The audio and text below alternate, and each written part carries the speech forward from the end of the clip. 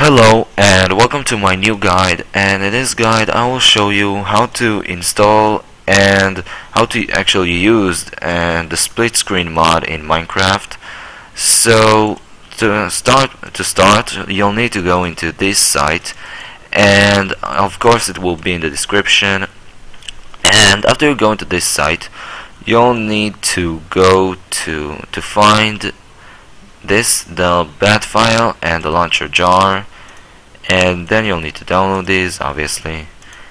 Now let's start downloading. And after you downloaded both of these I just open them in the folder more comfortable. Okay so next you'll need to make a new folder and call this folder however you want. Let's just call it new folder. So next thing is to just move the run and then open a new folder and call it bin of course you can use another name by changing the batch file but it's really much quicker to just make a new bin folder. So the next thing you'll want to do is to actually use the bin folder and then just log in into your Minecraft account and I'm not sure if you can actually use it for uh, for cracked users but there's probably a way though I'm not too sure about it. So um, after after you finish downloading it okay so after you're finished let's get out of it and then you'll see the .minecraft bin and nvidia I'm not sure why it's there.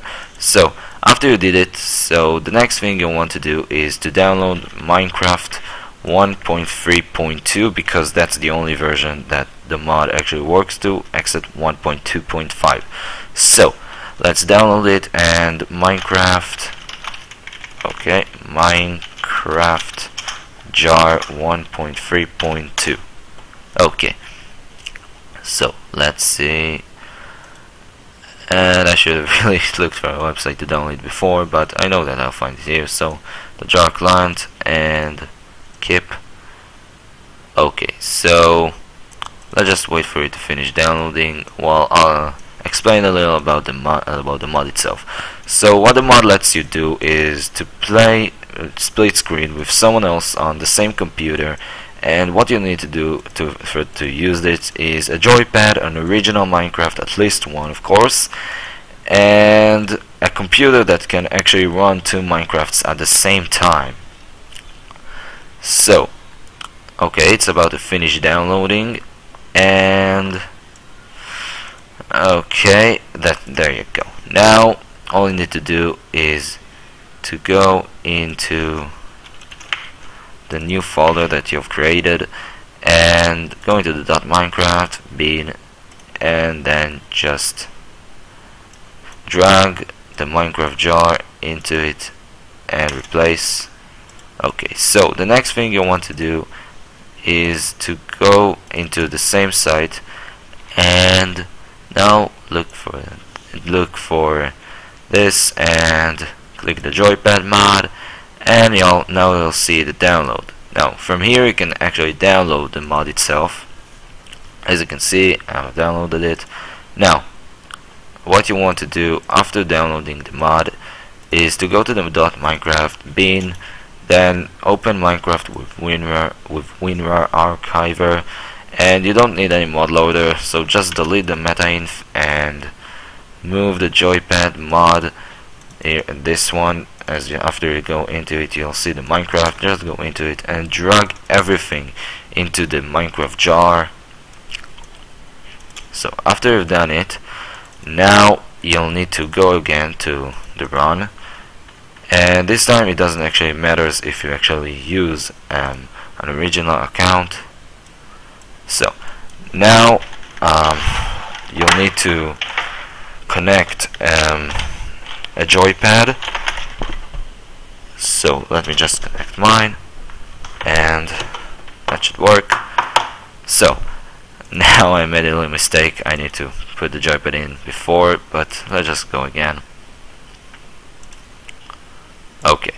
So the next thing you'll want to do is to go into this file and now as you can see there it shows a few controllers I'm not sure why.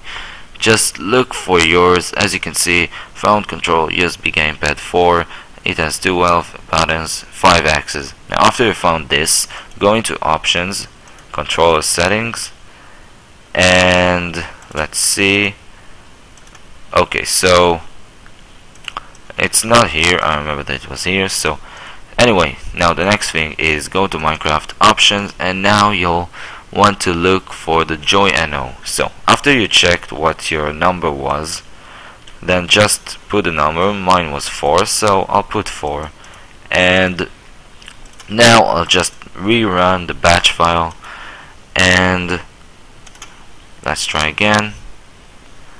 Now let's try it. Okay single player create new world. And let's see how it works okay. So now that it finished and well you can actually see it but right now I'm playing with my joypad and of course the keys are really uncomfortable and it's really annoying and for some reason I'm not sure why it clicks automatically. Of course there is a solution. So uh, as you can see right now I'm not touching it and it's moving alone. So of course there is a solution to this. Just go into options control something. And constant camera movement just change it to true and now let's try it again. So uh, okay. It has a different controls than the original one but okay it's really loud. Let me just turn it down. Okay. It has really annoying controls. Of course you can change it. And you really should because these are some really annoying controls. So let me try try to change them and show you. Controller mapping now. As you can see you use the Z axis to attack and let's try putting in the square button and the use in the in the uh, O button and the open inventory in the triangle and the jump X. So as you can see it shows buttons and this is pretty annoying so after a while you just put the buttons and it will work of course. So that's pretty much how you install it. And now the last part on how to pl actually play it on multiplayer on multiplayer on split screen.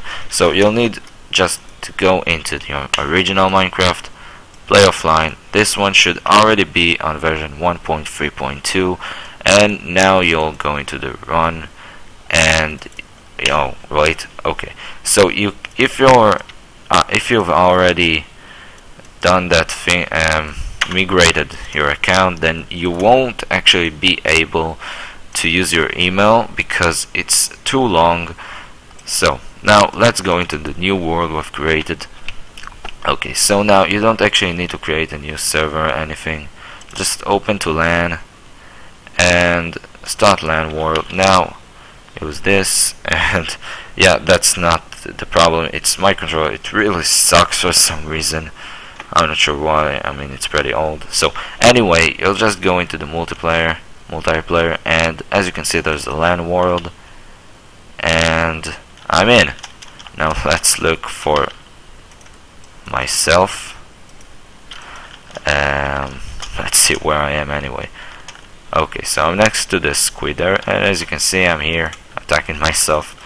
And as you can see it really works and it's really awesome because the vanilla Minecraft never actually suggested any any real you know split screen and this mod actually does it even though there are a few huge annoying stuff about this mod and one of them it's it's not compatible with most mods the other one is for, for version 132 which means no wither and no tons of 145 and 140 and 141 and all these and uh, all of those awesome features like the new boss, the new skeletons and stuff like that.